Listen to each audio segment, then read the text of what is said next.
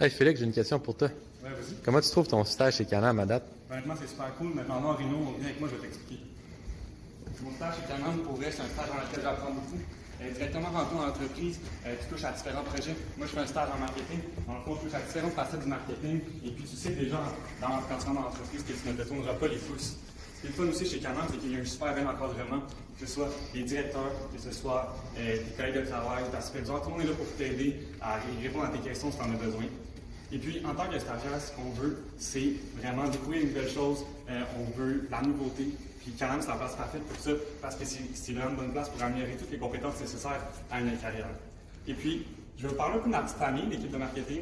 Dans le fond, c'est vraiment, comme j'ai dit, une petite famille. C'est une équipe unie, professionnelle, où est-ce qu'on a vraiment beaucoup de plaisir ensemble, où est-ce qu'on fait du bon travail. Ça tombe bien, parce qu'on cherche un cours dans la en marketing. Donc, envoie ton CV, tu le regrettes pas.